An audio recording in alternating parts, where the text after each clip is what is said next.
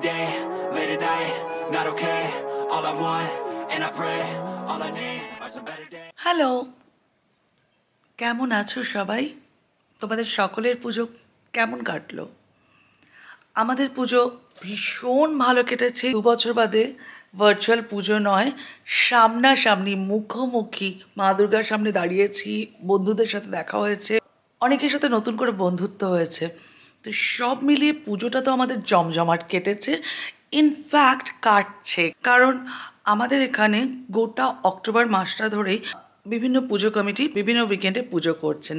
তো যাই হোক, পুজো ভালোই কেটেছে এবং এখনও কাটছে। আজ বিশ্বকে অফিস যেতে হয়েছে। এখন ওকে সেভাবে এখন ওকে রেগুলার অফিস যেতে হয় না, কিন্তু মাঝে সাঝে যেতে হচ্ছে। তো মিঠি তো মিঠি স্কুল শুরু হয়ে গেছে, মিঠিও স্কুলে যাচ্ছে। তো এই কদিন এত গম গম গম গম জমজমাটের পরে আজকে ঘরটা পুরো খালি। মানে ঘরে আমি একা রয়েছি। তো খুব একটা খারাপ লাগছে বলব না। তার কারণ হচ্ছে যে প্রচুর কাজ জমে রয়েছে যে কাজগুলোকে সারতে হবে এবং তার জন্য কয়েক ঘণ্টার জন্য খালি ঘর দরকার ছিল। আমার জামা কাপড় মানে এই কদিন তো পুজোতে তো নেচে নেচে যে এবেলা, ওবেলা করে বেরোনো হয়েছে জামা কাপড় পরা হয়েছে, কোনো রকমে জাস্ট কোথাও একটা লুকিয়ে রাখা হয়েছে ডাম করে রাখা হয়েছে যাতে বাড়িতে লোকজন আসলে ঘরটা দেখতে অতটা অগোছলো না লাগে। কিন্তু এখন সেগুলো ডাল জমে রয়েছে এবং কাচাকাচিও করতে হবে প্রচুর, কাঁচার জায়গায় প্রচুর জমে রয়েছে, ভাজ করার জায়গা প্রচুর জমে রয়েছে। যাই হোক, কিন্তু সবার আগে এখন যেটা করতে হবে সেটা হচ্ছে ব্রেকফাস্ট চলো দেখাচ্ছি ব্রেকফাস্টে আমি কী খাচ্ছি। বিজয়া দশমীর পরের দিন, অর্থাৎ একাদশীর দিন, আমার সব থেকে প্রিয় ব্রেকফাস্ট হচ্ছে ঘুগনি, মুড়ি আর মিষ্টি। ব্রেকফাস্ট ডান তার সাথে কিছুক্ষণ বসে বসে মোবাইল ঘাটছিলাম। তো এবার উঠে পড়ে লাগতে হবে কাজ করতে। তো শুরু করি বরং জামা কাপড়টা দিয়ে, চলো। আমার শখের এই আর্ম চেয়ারটা এই কদিন আমার শাড়ি জাম্পিং জোন হয়েছিল।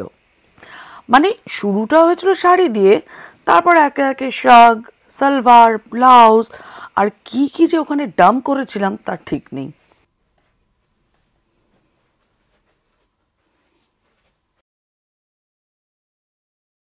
বললাম না, এই কদিন ঘরের কাজে তেমন মন ছিল না। এই দেখো, আগের দিন ড্রায়ারে দেওয়া জামা কাপড়গুলো আজ বার করছি। ভুলেই গিয়েছিলাম এদের কথা। যাই হোক, এখন আরও এক লট কাচতে দিয়ে দিচ্ছি।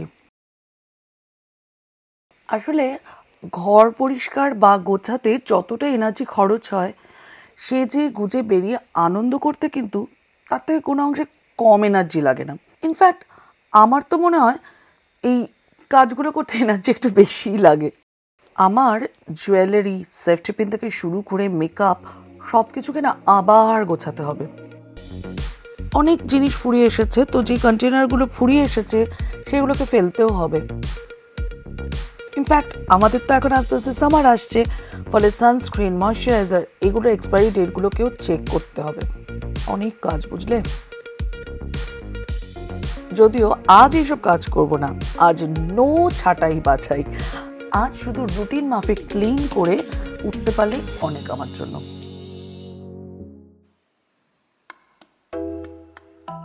ভাড়ার ঘর বা প্যান্ট্রি এই জায়গাটাকেও রিঅর্গানাইজ করতে হবে। এ দেখো, চালের কন্টেনারটার মতন এরকম অনেক কন্টেনার যেগুলো খালি হয়ে গেছে, সেগুলোকে ধুতে হবে রিফিলও করতে হবে। সব একে একে করব। আসলে কি জানো তো? বছরে এই সময়টা না আমার মেলবার্নে বেশ ভালো লাগে। ঠান্ডাটা অনেকটাই কম থাকে, আবার তেমন গরমও পড়ে না। বসন্ত এসে যায়। বসন্ত এসে গেছে অ্যাকচুয়ালি তাছাড়া এখন উৎসবের মরশুম, কিছুদিন পরেই কালী পুজো ও দিওয়ালি। আমাদের এখানে মানে আমাদের এই পাড়াটাতে সব ইন্ডিয়ান বাড়িগুলোর বাড়ির বাইরেটাতে না আলো দিয়ে সাজানো হয়। আর তাছাড়া কমিউনিটি পুজোতে গেলে সবার সাথে দেখা হয়, হুল্লোড় হয় সব মিলিয়ে বেশ ভালো লাগে। এই করতে করতেই নভেম্বরটা কেটে যায়, আর যখন তুমি মলগুলোতে ঢুকবে সুপার মার্কেটগুলোতে ঢুকবে, একটা বেশ ক্রিসমাসের ভাইবস তখন অলরেডি পেতে শুরু করো। আর দেখতে দেখতে চলে আসে ক্রিসমাস আর তার সাথে আসে new year thirty first night আমার সব থেকে প্রিয় দিন বছরে। কারণ বছরটা যেমনই কাটুক, ভালো কাটুক, মন্দ কাটুক, আনন্দে কাটুক, দুঃখে কাটুক, কিন্তু ওই রাতটা পার্টিকুলার ওই রাতটা না একটা নতুন আশা, নতুন আলো নিয়ে আসে। আমার মনে হয় এই রাতটা পোহালেই, যদি খুব খারাপ কিছু হয়ে থাকে, তাহলে মনে হয় এই রাতটা পেরোলেই যে কালকে থেকে যে বছরটা শুরু হচ্ছে, সব ভালো হবে। আর যদি খুব ভালো কিছু হয় গোটা বছরে তখন মনে হয় সেই বছরটা এত ভালো কেটেছে আগামী বছরটা না আরও ভালো কাটবে। এই যে আশা এই আশাটাই তো আমাদেরকে বাঁচিয়ে রাখে। এই আশাতেই তো আমরা আম, কি বলব আমাদের আমার কাছে মনে হয় এই আশাটাই হচ্ছে আমাদের জীবনী শক্তি। আর সেই কারণে দুর্গাপুজোর পরে কোনো কিছু যেটা আমার বছরের সব থেকে প্রিয় সময় সেটা হচ্ছে থার্টি ফার্স্ট নাইট আমার নিজের বার্থডেটাও আমার কাছে এত প্রিয় নয়। তো যেটা মূল বক্তব্য সেটা হচ্ছে অক্টোবর থেকে মার্চ। আমার কাছে মেলবোর্ন তখন জমজমাট।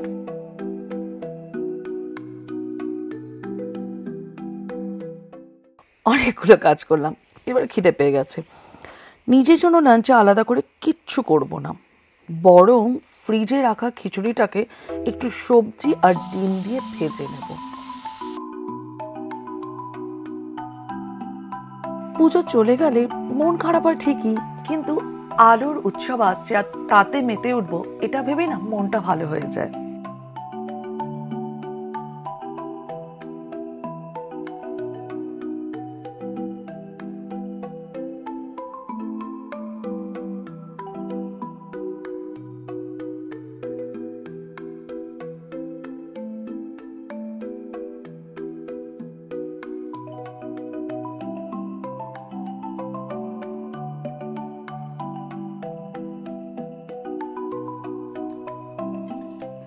আর এই হচ্ছে আমার খিচুড়ি দিয়ে বানানো একটা খিচুড়ি।